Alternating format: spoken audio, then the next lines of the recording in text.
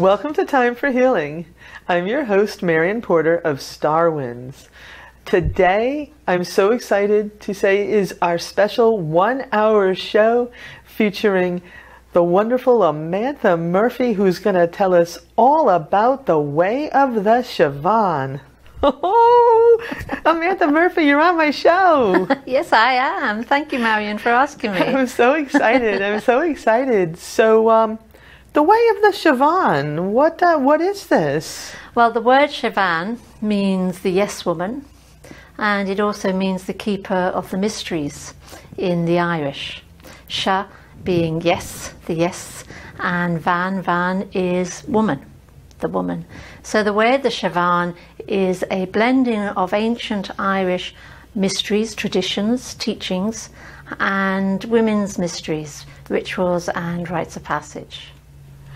Wow. So, what are some of these mysteries and rites of passages? What's involved in uh, the study of all of this? Sure. So, should I just give you a little background into that first? Yeah. How I got into it and how Oh, I call yeah. myself that. Fantastic. Yeah, so I uh, spent all my summers with my grandmother on the land where I live now in Kerry, um, in Ireland.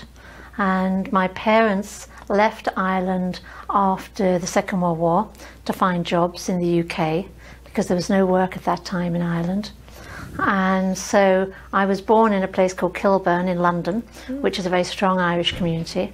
And from my earliest memories, we came back to Ireland every year for holidays, and my brother and I would come and spend the summer with my granny.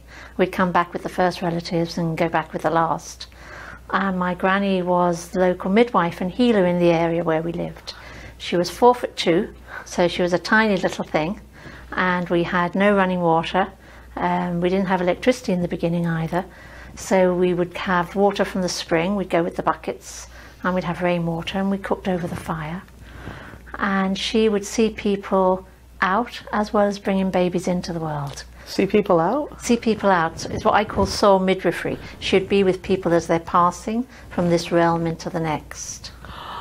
Wow. So, one of the things she did was she would take me out and talk to me about the fairy folk, and we would go and visit the fairy folk. And she showed me how to attune with the stone people, how to connect with the tree brethren, and how to ask to have the stories shared with me. And I would lie on the earth where I live now, and I would come back every year and I would lie there and I would wait. And gradually I would become that living earth. And then this energy would come to me that I always called her or she. I saw her as my mother, and she was this old, old woman, and she would talk to me. And every year when I would come home, she would share things with me and tell me things. And for me, that was the real world. I grew up talking to spirit from my Oh. earliest age. I was I was wondering. There's Yes. talking to talking to spirit. Talking to spirit. Spirit was the real world for me growing up. I'm ah. dyslexic, and in those days they didn't know about dyslexia. I was born with double vision, so I'd see two of everything. And of course, now I know what that meant. But at the time, this world, this reality was like a dream world, a place I had to pretend to fit into. And my real world was the place of spirit, and it also became the place of the fairies and the stone people. And that to me was the real world. That to me was my reality. That's beautiful. It's beautiful, and it was looking back, it was lonely. You know, it was a, you know, this is the place I lived myself, but I didn't really have deep connections with anybody in this realm except for my family, of course. So, yeah, it was, uh, looking back, it must have been lonely, but at the time I was happy. but you learned a lot of cool things, like Huge what, things. What what what was it like to talk to the stone people, the fairy folk? What was well, what was that for like? us, the stone people are our original uh, people in Ireland. You know, Ireland was once a land of trees and stones. So they're the story keepers. They're like the bones in our body. They hold the stories. That's beautiful. And so when you connect with the stone people and you ask permission to see the stories, sometimes they show you the story so you see it from the very beginning of what's happening around them and the different peoples and the different things that happen. And then other times, sometimes it's a bit like a rewind button on the video machine. Sometimes you see the time and space now, and then it starts going back. So you could go back 100 years, 400 years, another 300, and it keeps going back in time. So you never know which way they're going to share it with you, which way they're going to show it to you. So stones are recording all of all the stories, the stories of the land.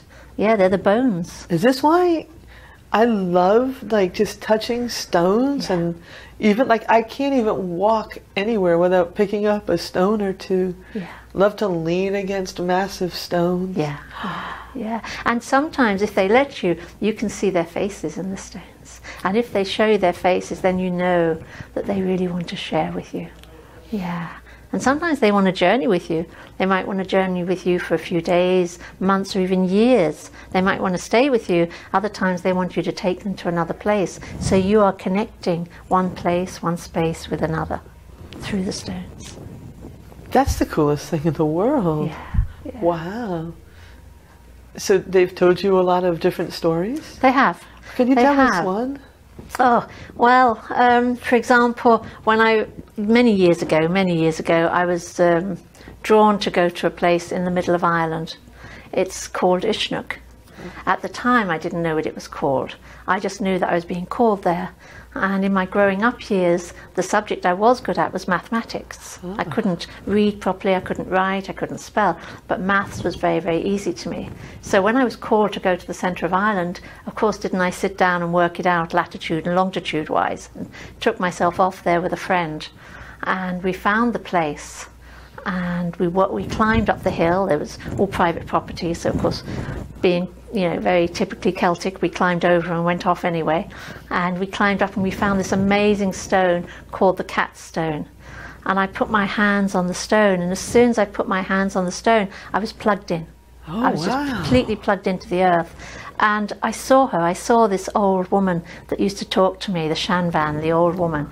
I saw her there, and she started giving me the story of this land, this place, and how all the tribes would gather here every year at the time of Bealtaine, and how they would have a great fire, and how deals would be done. And when the deals were done, they would use this type of a, an instrument to go under this stone, and they would sound through it.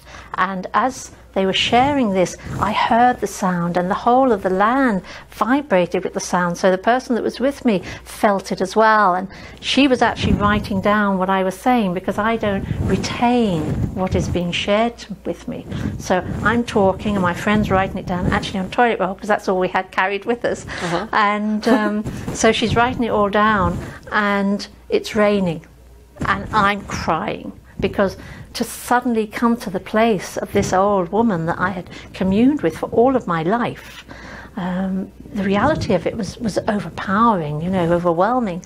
So I'm telling the story of the place and how this was the place that the tribes would come from the four corners of our land at Bealtaine, how the great fires would be lit and how runners would take fires across the land.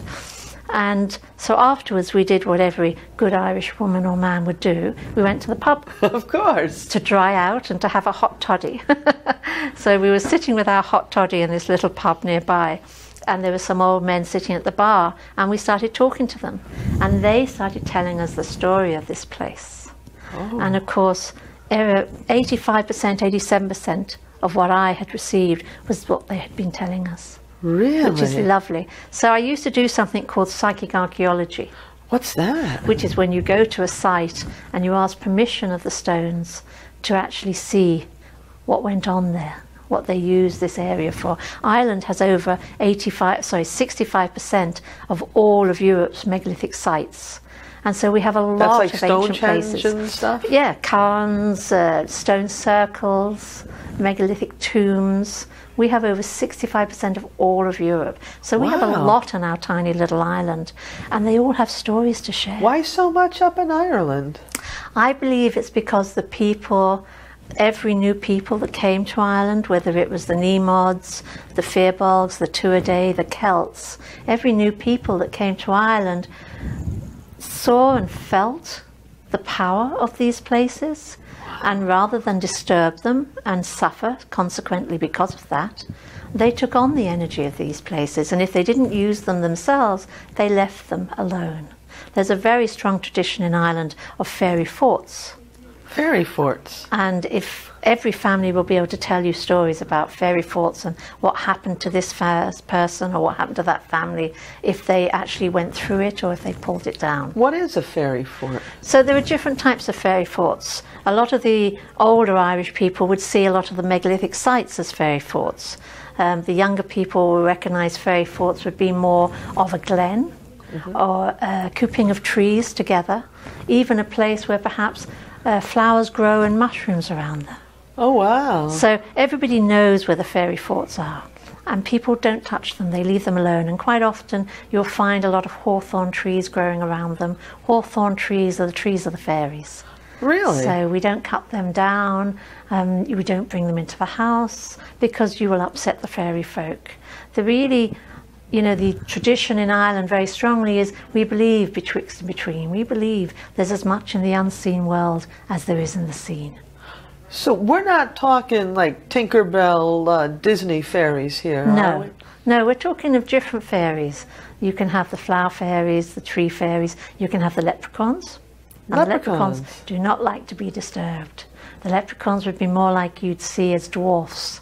And in our stories, when the Tuatha De Danann had to do battle with the first Celts, the Milesians that came across from Spain, and they fought, it said, for three days and for three nights. So much so that the, the world was filled with fire.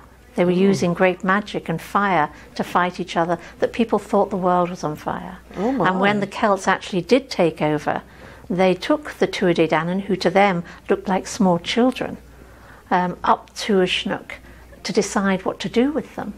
And they said to them, because you believe that your souls are part of this living earth, because you believe that you are part of this land, you must wear green. And you must go and live in the valleys, and you must go and live in the dales, and you must go and live beside the streams, you must go and live in the caves. And it's said that the Tuatha had magic in their music, that they could hmm. make you laugh, could make you cry, or could make you sleep.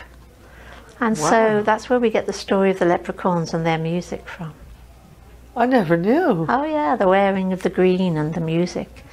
Yeah. The wearing of the green. So it has nothing to do with St. Patrick's Day No, then. nothing at all. Can we talk about St. Patrick's Day? if we in have to, I suppose. Yeah. okay.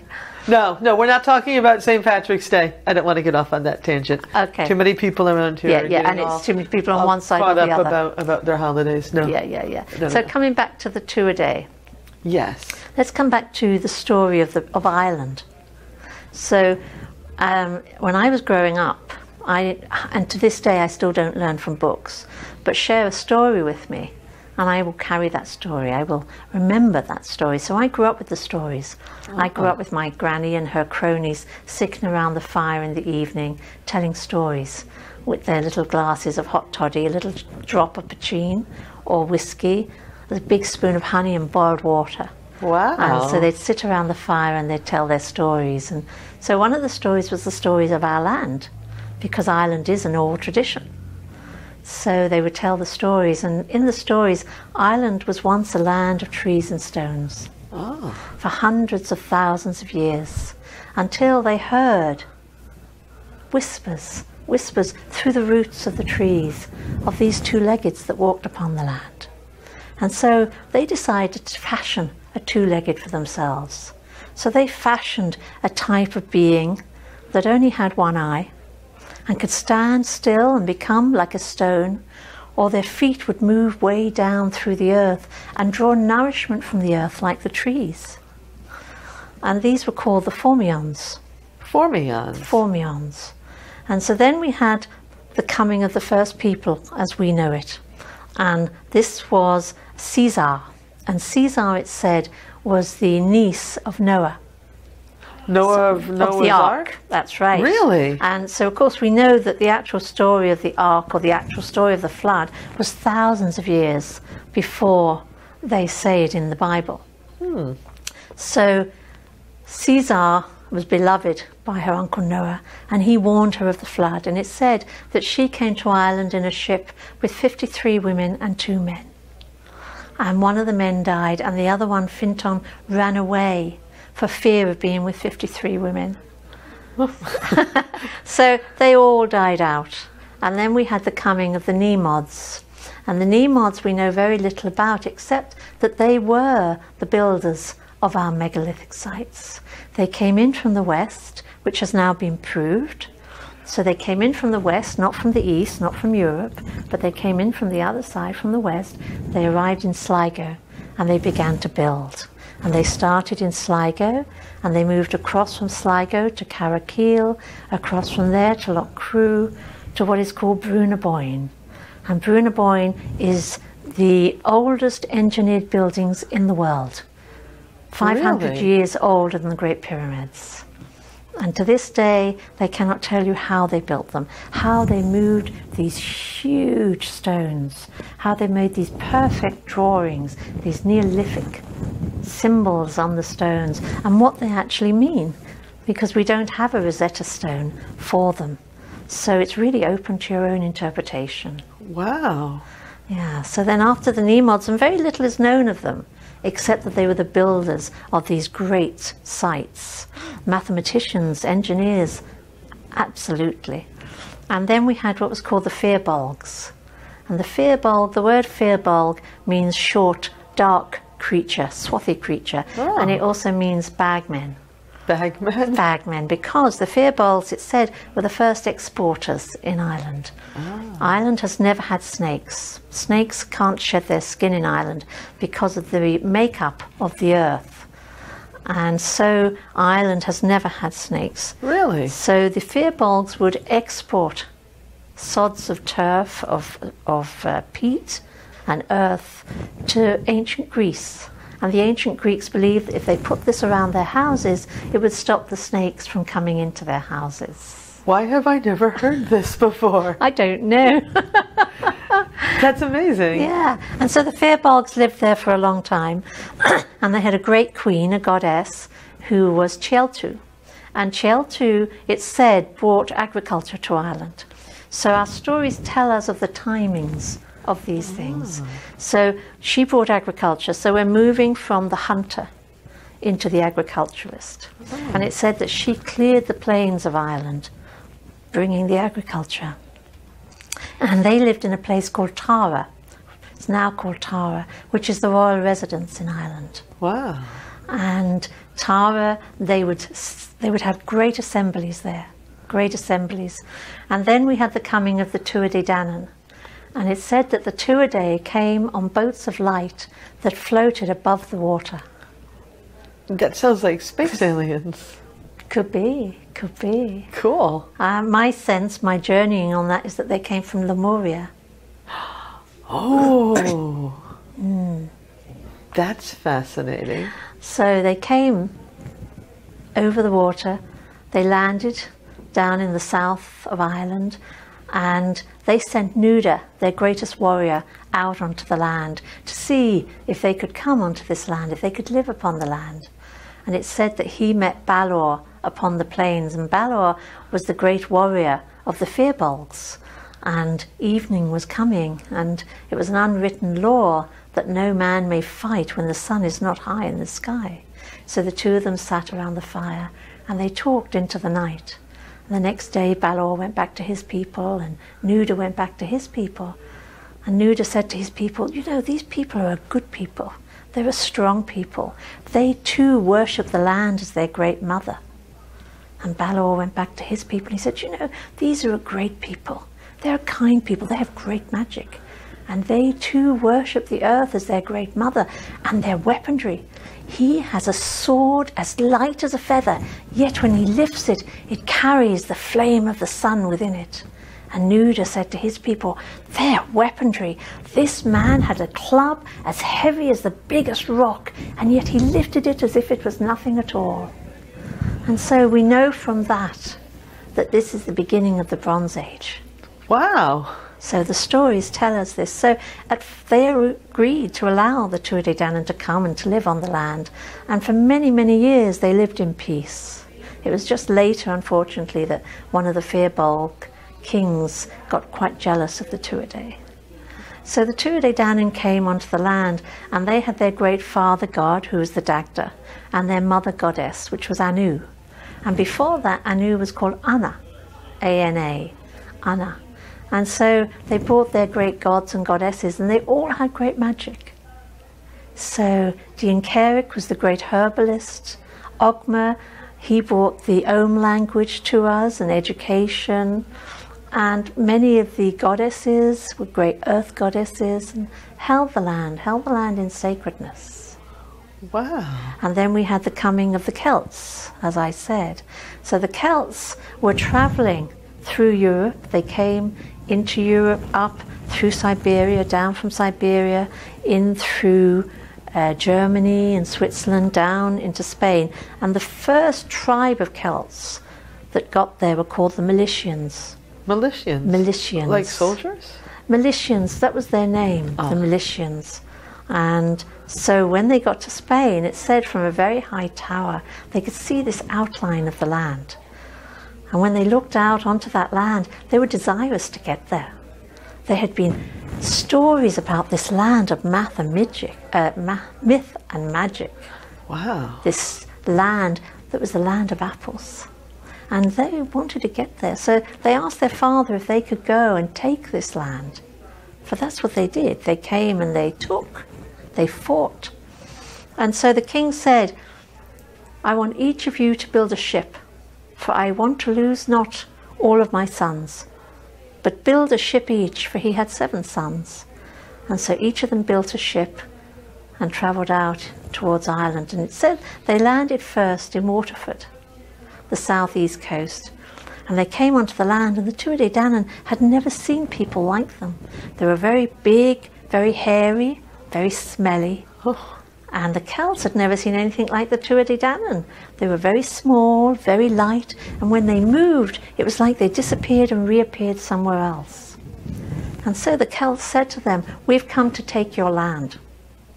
You will now work for us, and you will be our servants and our slaves. And the Tuatha Danann talked among themselves, and they said, Would you go back out over the ninth wave, and let us prepare for your coming? We don't need to, said the Celts. Sure, we're here now. Why do we need to go out? Oh, let us prepare. Let us make a great feast for you. Let us hold this space for you. And the Celts thought, well, why not? Look at these little things. They're like children. Sure, we could take them any time. So the Celts all went back into their ships, and the seven ships went out over the ninth wave. And as soon as they went out over the ninth wave, a guise was put around the land of Ireland by the Tuatha. A guise is like a, an energy field oh. put around the land of Ireland. And the Celts found they couldn't get through. They couldn't break through this energy field. So they had two people that were well versed in magic with them. They had Armagon, who was the elder brother, and he was also the advisor to their father, the king. And they had Scotia. Scotia was an, uh, an Egyptian princess, married to another of the sons, and well versed in magic. And so Scotia and Armagon began to use fire and throw fire to break through this energy field. And as they did this, they began to move around the very south of Ireland, up onto the lower left there, the south, southwest. And they fought, as I said earlier, for three days and for three nights. And on the end of the third day, they began to break through the guise. Hmm. And Armagon landed in Waterville and Scotia landed in Tralee Bay. And Armagon went up and he found a very ancient stone circle there. And he stood in the same circle, Ectokar, and he began to intone the land unto himself.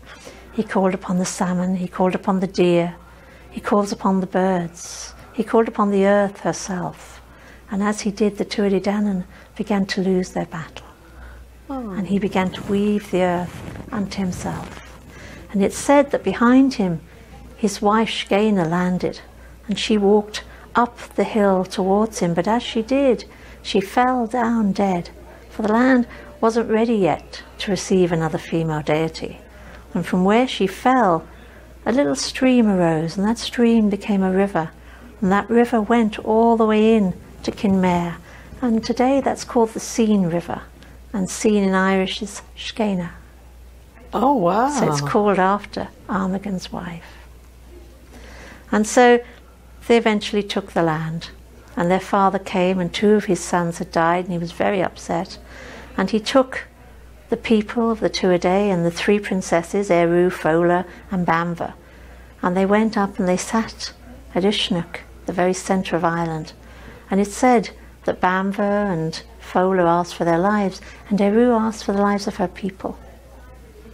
And so the king decreed that the land would be called after each of them, but they would hold the name Eru. And so for a while the land was called Banva, and then it was called Fola. And then when we got our freedom, less than a hundred years ago, De Valera stood on Uisneach, lifting the flag, and declared Ireland Éire in honour of Eru, the third princess. Wow. I know. So, Yeah. so these aren't just folk tales. This is actual No. real history. This, yeah. Well, the line between mythology and his story, because history is his story. History is the story of the conquerors, and it's his story. ah. Oh, I get it. Yes. Wow. yeah. Story. His, His story. Yeah. So the line between myth and the story in Ireland, the recorded story, is changing right now because they are now being able to prove a lot of the stories in our oral tradition. And for the Irish, it's always been very, very important to share our stories. Get a few Irish people around together, and within long, they're telling stories. So the stories have always been very important. They're part of our roots. They're part of what holds us into the land and in through the land. Yeah. well, you sure do know a lot of stories. The stories feed me, yeah. and I live in them. So when I tell the stories, I'm there. I see them, I feel them, I taste them. Mm. Hmm. So, the Seabhean, Yes, I hope I'm pronouncing that right. Yes. Seabhean. Um, this is a spirit that everybody can see, or is it just a spirit that you can see? the Seabhean Yeah. is the energy of the balancing of the stories and the um, traditions that the ancient people would have followed. So it's a very shamanic tradition. Ah. I wouldn't necessarily claim the word, but it's a very shamanic tradition in that we have lower world, middle world, and upper world in our tradition. And you'll often see stylized drawings of Celtic trees. Yeah. And when you do, you see the branches going up and down, and you see the roots going down and around, and the branches and the roots almost touch, but they don't because we recognize the richness of our roots. We recognize our roots are our ancestors, and we wouldn't be here if they hadn't survived. And so, when you look at a tree, as high and as wide as the branches are as low and deep and wide the roots. But many people don't think about the roots. They don't remember the roots, and yet, without the roots, the tree could not grow. Without the roots, the tree would not grow and, and feed itself and flower and give fruit. And the flowering and the fruit are actually influenced by the roots and what the roots draw upon in the ground. And so we know that we are like that ourselves. We're like the tree beings. We have roots, and we have roots that feed us, roots that support us, roots that hold us, and some roots that take from us, drain us. And these roots are our ancestors. And so in those roots are our patterns, all that we carry in honor of the ancestors, not just in our build and our coloring, but also certain patterns that come through families time and again. Can those patterns be healed? Absolutely. A lot of those patterns are patterns we actually want to cultivate. They're patterns that give us strength, tenacity, the ability to survive, because we would not be here if our ancestors hadn't survived. And so we can draw upon that. And then we can become aware of the patterns that no longer serve us. And with love, we can release those patterns. And when we release those patterns, it's like releasing vines wrapped around one of those roots.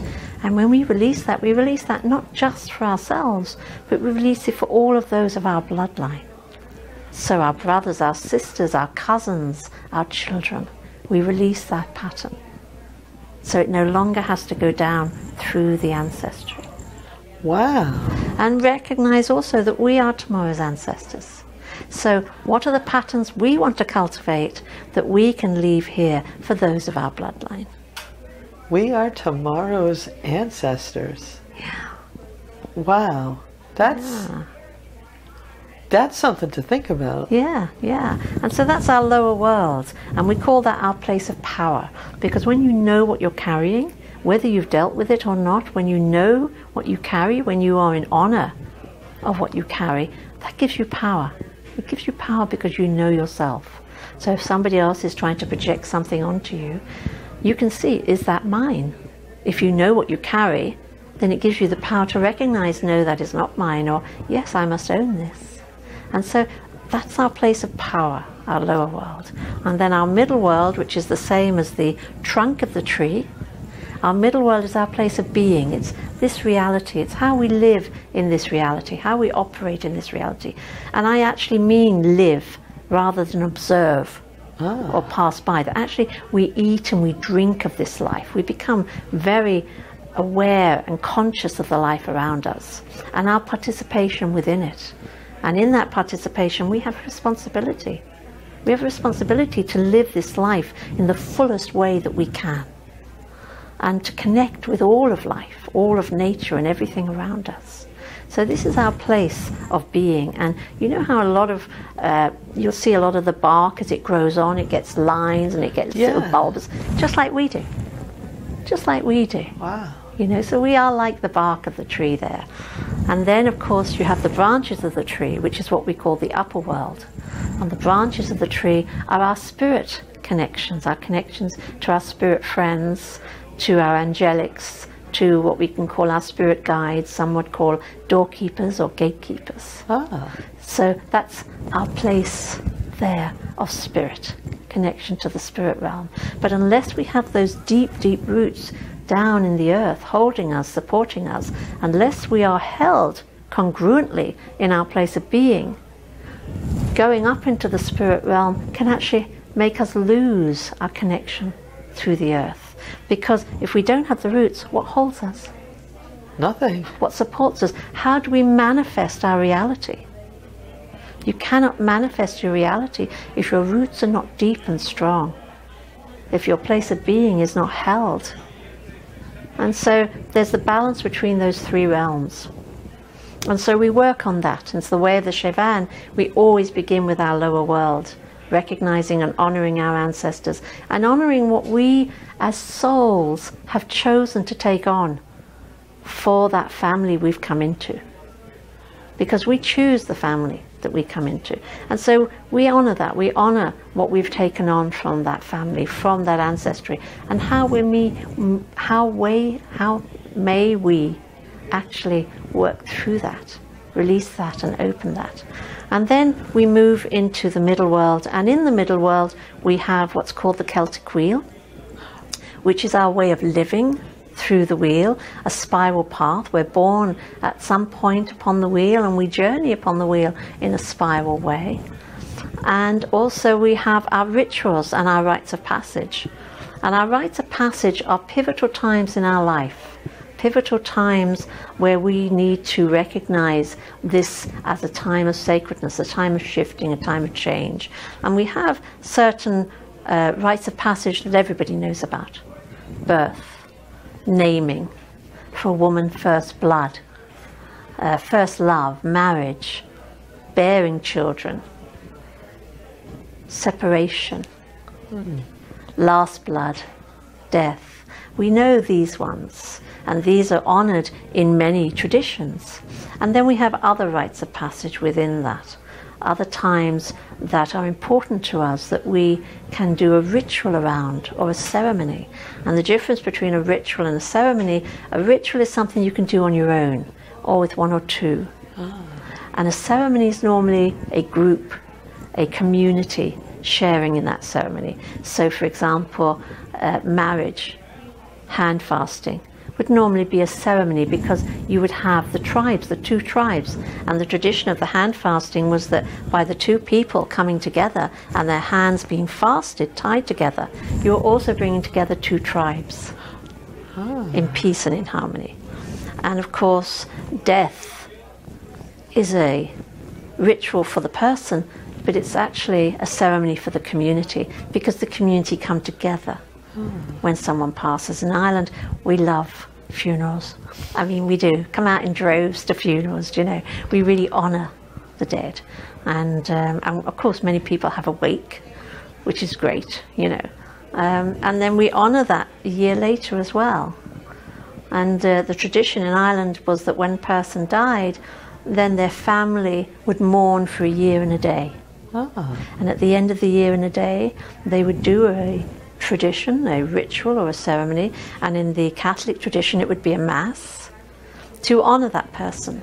So when my father died, for example, after the year and a day, his brothers came and all put on his suits, which was very lucky that they were of a similar size. and uh, they wore the suits to the mass and then afterwards traditionally you'd burn the person's clothes but my mother being a very pragmatic woman those clothes went to a second-hand shop they didn't get burnt at all um, so yes so the rituals the ceremonies that we have help us to recognize these tra- transitional points in our life and not just recognize them but really honor our own growth within it and by honoring that we are taking on all that we are we're not putting it to one side, but we're embracing it. Because we, each one of us is born with a weave. A, Each- a weave? Each one of us is born with a weave. And this weave is like a picture.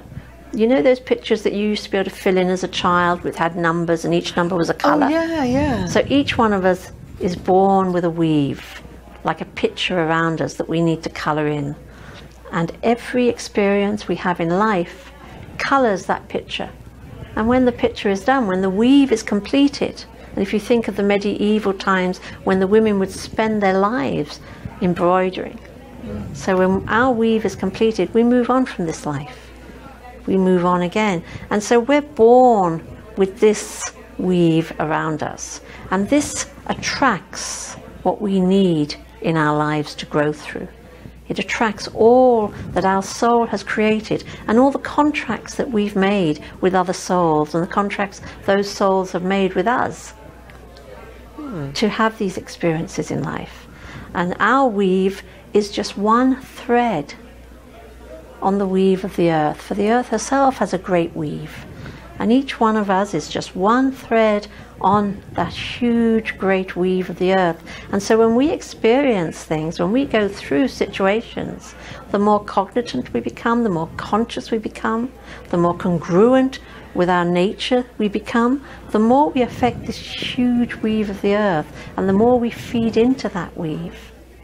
And so, living in the authenticity of our nature, living in truth, living in love, living in harmlessness, Harmlessness? harmlessness, yes, Oh. we are actually feeding the great weave of the earth. And if you imagine that every single person is a thread on that earth, on that weave, so every single person on the earth is a thread on the weave. And as each person shifts and moves and colors the whole weave through their way of being, they are affecting every single other person on the earth. We're all interconnected. And so when I go through an experience and I grow accordingly, that affects everybody else in the world.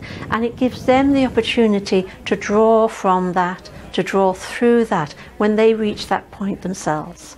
And so this is the greatest gift we can do. This is the greatest gift we can give our living earth. This is the greatest gift we can give our sisters and our brothers.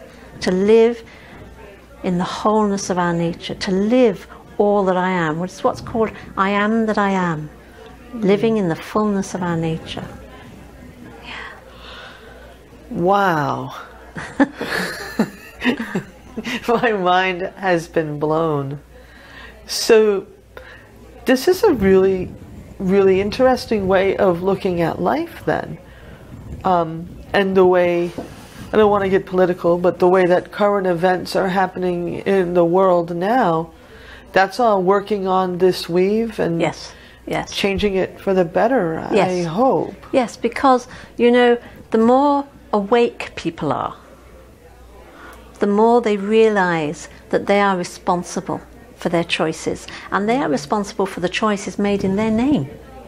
Ah, That's important.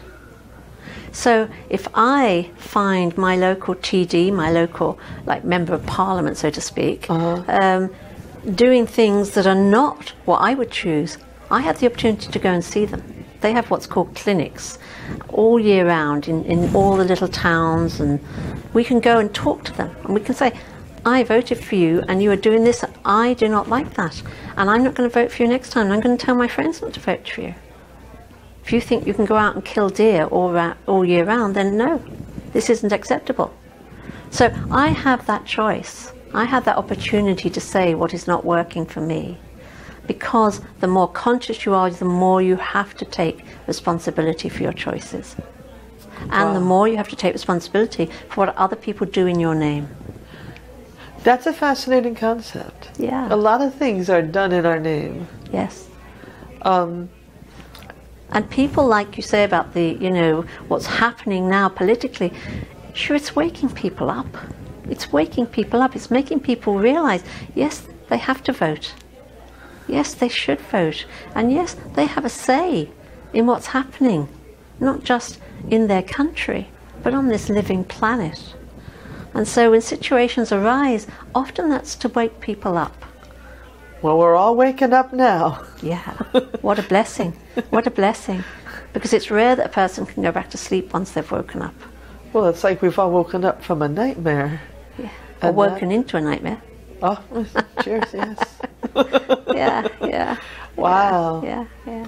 The world is a weave. The world is a weave, and each one of us is a thread on that great weave. That's beautiful. wow. Take a moment with that. Hmm. So this is this is amazing. So would would you characterize um, all of this is shamanism, a form of shamanism, uh, this ca- way of the Seabhean? I would characterize it as ancient Irish teachings. Um, I grew up with my granny sharing some of these with me. I grew up with the stone people, the tree brethren sharing this with me, spirit sharing it with me. And I've been working professionally in this sphere since I was 20. What have you been doing? So, um, well, first of all, of course, as I said, I saw spirit, you know, growing up until the age of 12 when I had the eye operation for my double vision. And I stopped seeing spirit. And for the first time in my life, I started integrating into life. And I went to a convent school, and I was very blessed that I was with lovely nuns. They were Vincent de Paul, and they were the ones with the wings. Oh, like the Flying Nun show. Like the flying nun, I suppose. I have not seen that show myself, but I've just said how old I am. saying I know that show. I'm even older, but I don't know that show. Anyway, and uh, lovely women, lovely women, and they had uh, a home for the deaf and dumb. They had a home. I was in London at the time, and they had a home for tramps by Tramps? Westminster Bridge, like the homeless. Ah. And um, and they had a, two orphanages, and I used to work with them at weekends oh wow. because they were just such good women. They taught me spirituality, which was a lovely thing. And um, and then I went from there to another school, um, which was a mixed school, London Oratory, um, which was a mixed school, and I went there to do my exams. And that was quite hard to go into a school where boys and girls Ah. and where they didn't have good relationships with the teachers or the headmaster. And I'd come from a lovely little school where we all got on quite well, you know. And um, and during that time, at, in the class, the girls would often do in the convent school. They would do the Ouija board, the back Oh. of the maths class. In class, in school, Aye, aye, at the back, yeah. The Ouija board in the teacher back wasn't able to deal with them at all. and um, and because it was my subject, the one subject I loved, of course, I didn't want to do it, but it would only work if I had my finger on the glass, and then it would only work if I sat with it. And of course, I kind of brought this with me to the next school as well, and um, and then it would work if I was just in the room. If I wasn't in the room, it wouldn't work. And at the time, I believed in mind over matter. I'd become a real socialist at that point. Ah. And, um, and then um, I dragged a dear friend of mine, Margaret, uh, with me to see a clairvoyant.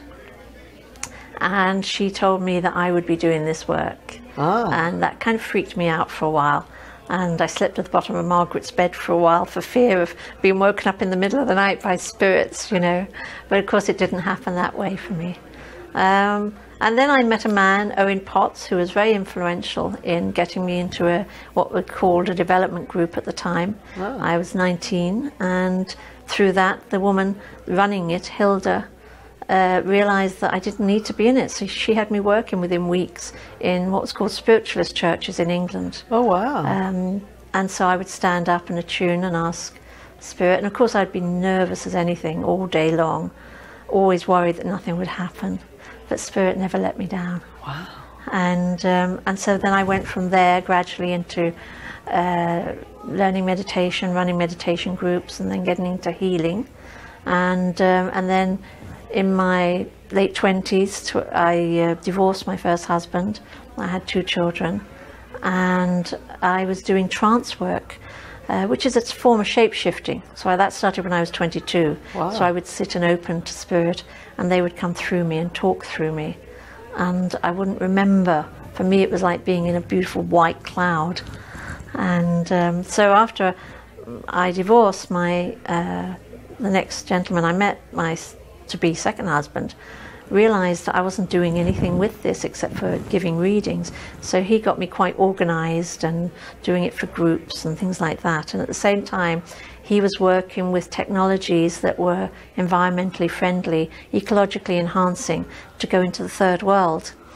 And so I started working with some of the scientists and technicians, and a lot of them were ex NASA at the point. At that point, NASA, like ex the NASA, space. NASA, the space program, Wow. yeah, because they started closing down their space program, and these people had been developing technologies that could work outside of our atmosphere.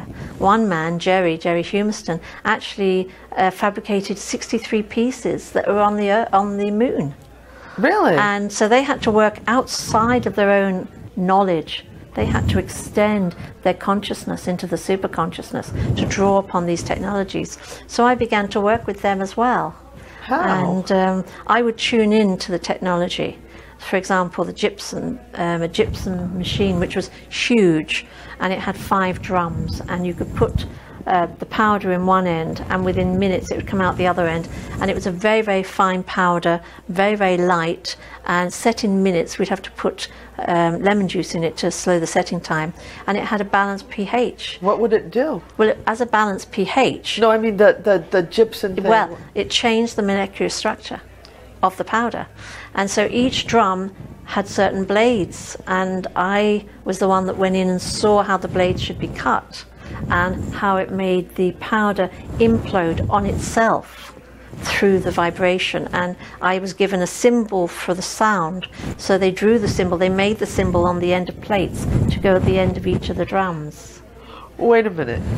So is this like a drill or something? Or whatever this is, and you're psychically. I, I go into the machine and I could see it. I could go into the machine as the powder, so they could turn it on, and I could go in and see, and I could see what needed to be done. On the moon? No, no, no, no, no. This was here on the earth. but it, gypsum was a huge is a huge problem. I don't know. We have mountains of gypsum as a byproduct from building things. Oh, I see. yeah, yeah.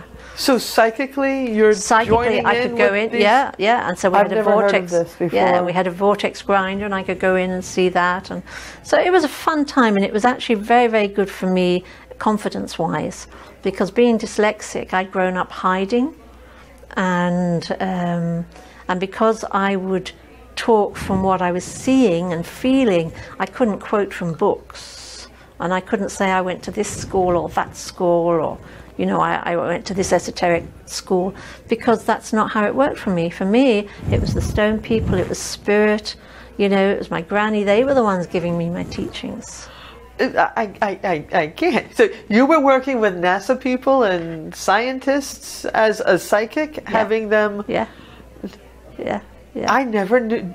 Yeah. Were other psychics doing this? Is this a common thing? This I is don't know. amazing. Oh, some of them was that's the thing. Some of them were so open to what I was doing and who I was. A lot of them, you know, were advocates of technologies from Tesla. I don't know if you've heard of Tesla, Wilhelm Tesla, and of course Tesla used to dream his technologies.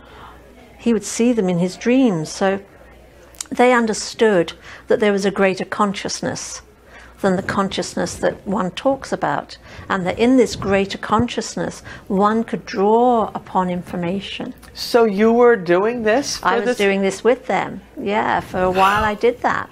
Yeah. I've never heard of such a thing. This is fantastic. Yeah, yeah. But it was very good for my confidence. Like I said, it really helped me to to really own myself. Yeah. really own myself because when you grew up dyslexic and in those days they didn't know about dyslexia so you ah. don't understand why you can't do what other people can do. You don't understand why you can't write like other people can write and spell and, and this sort of thing you know? So you become very very self-conscious. And i was self-conscious enough as a child. Yeah. so that impacted it even more so you know? And then being with these people and them actually you know uh, working with me and being so delighted, and then the technology's working, you know, it really brought my confidence up and, and uh, it brought me to that point of really accepting and honoring the way that I work. It almost seems like, you know, what would be labeled as a disability is actually um, an enhanced ability for you. All of Yeah, yeah. all of this um, dyslexia and such is causing you to actually Yeah. be able to have uh, enhanced abilities. Yes, because I could see. Wow. I could see what they were talking about. If they could, if they knew what they were talking about, I could see it. I could see the picture of it. And when I saw the picture, I could begin to explain to them what I was seeing. And they would draw it. And I'd say, no, no, not like this, it's like that. And so that's how we worked together. I would see it. yeah. This is fantastic.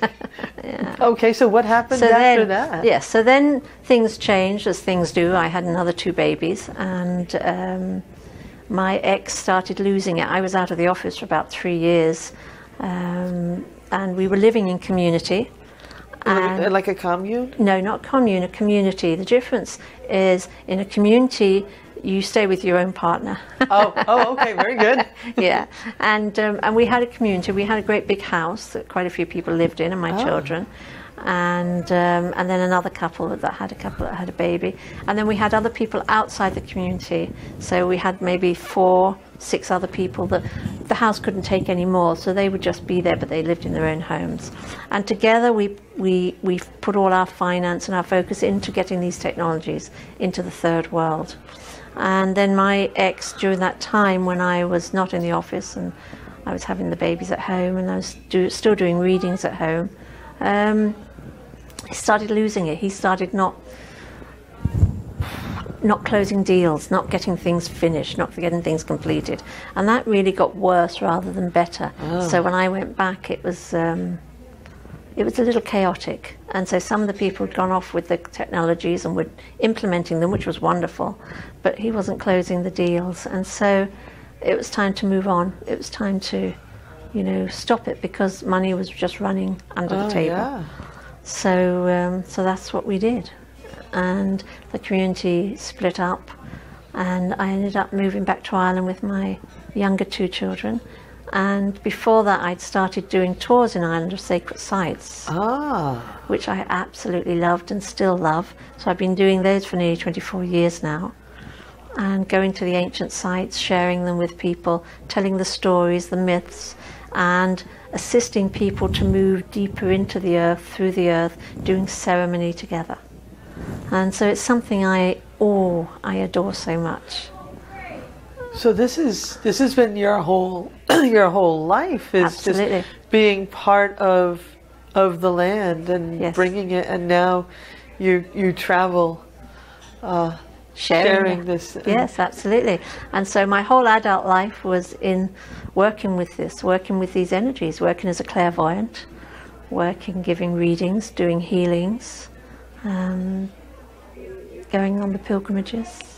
Yeah. And now it's also teaching. It's teaching, helping people to find who they are through the teachings. Mm. Helping people to become more congruent with their nature, to become not just all, but even more than they are meant to be in this life. You're amazing. this just this has been the fastest hour. I could I could listen to you talk for hours and hours. we're we're soon to be out of time. Ah. So I was just wondering if there's any last uh, last uh, information you wanted to get out. We got about uh, two three minutes. Okay. Um, yes. Um, should I look at the camera? Yeah, look right at the camera. Okay. Hi. For these last few minutes, I would like to say listen to yourselves. Sit quietly for a few minutes each day and feel into who you are, feel into what you are, feel into what you're feeling, feel into where you're at in your lives. if you don't like where you're at, give yourselves permission to change that. Give yourselves permission to dream yourselves into a better life for you. And when you do that, then ask, how do I begin it? How do I begin doing that? See the steps one, two, three, and just do step one. Don't worry about step two and three, because when you take that one step, step two becomes step one. And when you take that step, step three becomes step one. But be honest with yourselves. Be honest with what's going on within you. Ask yourselves, am I happy? Is this feeding me? Am I being congruent with life around me? Walk in nature when you can. Hug trees, lie on the grass, breathe in the air, and know that you too are part of this living earth. Everything you think goes out into the world. Electron energies sending out, and other people can feel that. Other people can pick up on that. So, how conscious can you become with what you're thinking? To help the world, to help the planet, to help your community, to help your family, to help you. How can you feed into the world through all that you think as well as what you do and what you say? Take responsibility of that. Learn that the nearest thing to God, Goddess is joy, living in the joy of life. And find peace in that. Find that place of ease within yourselves. Ah, that's beautiful. I'm so happy that you were on my show. Oh, thank this you. was the greatest, the greatest experience. Uh, thank you. Oh, my pleasure. Uh, and thank you for watching this show. What a moving show this one was. Uh, Amantha Murphy, The Way of the Seabhean. Fantastic. Thank you for watching and we'll see you next time for Time for Healing.